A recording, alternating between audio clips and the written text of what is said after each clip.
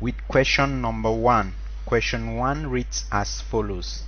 The polynomial p of x is such that p of x is equal to ax cubed minus 3x squared plus bx plus 6. Given that x plus 2 is a factor of p of x and that when p of x is divided by x minus 1 the remainder is negative 6. A. Find the values of the constants a and b. b. Hence solve the equation p of x equal to 0. Sub 2.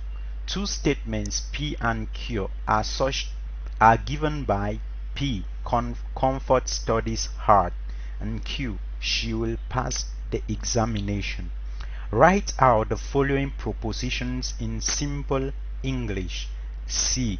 P implies Q. D. Not P implies not Q. E. Not of P implies Q. Okay, let's get started with the first part of this question. We are given the polynomial p of x and we are told that p of x is equal to ax cubed p of x is equal to ax cubed minus 3x squared plus bx plus 6 we are also told that x plus 2 is a factor of p of x. So x plus 2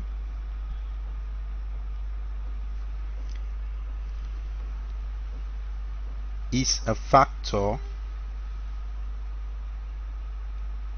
of p of x.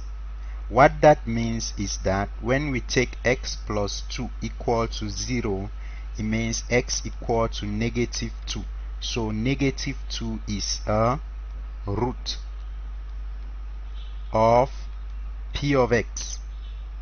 Now we are also what that means is also that p of negative 2 will be 0 that's the meaning of a root of p of x. Now we are also told that when we divide p of x by x minus 1 the remainder is negative 6 so it means that x minus 1 equal to 0 implies x equal to 1 so p of 1 is negative 6 that's the remainder. So that's the interpretation of our data. Now let's go to the first part A which says find the values of the constants A and B.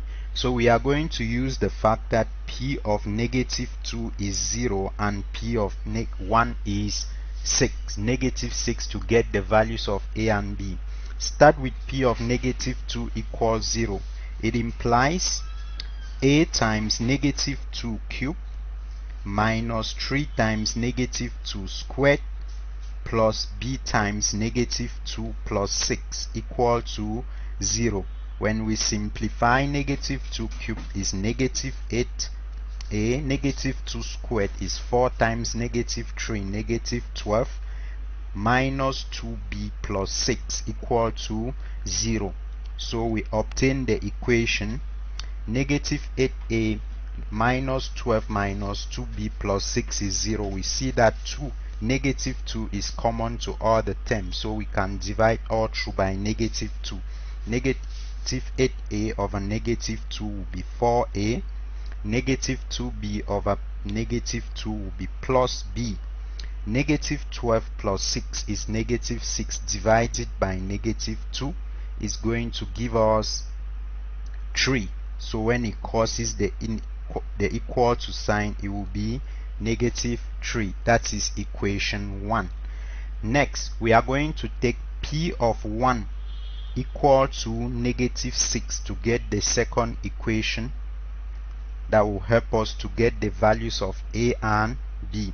P of 1 equal to negative 6 what that means is a times 1 cube minus 3 times 1 squared plus b times 1 plus 6 equal to negative 6 a 1 cube is the same as 1 times a is a 1 squared is 1 times 3 negative 3 plus b plus 6 equal to negative 6 so we are saying a plus b equal to 6 minus 3 is 3 when 3 crosses it becomes negative. Negative 6 minus 3 is negative 9 that is equation 2 so we get two equations for a plus b equal negative 3 and a plus b equal to negative 9 to solve simultaneously to get the values of the constants a and b.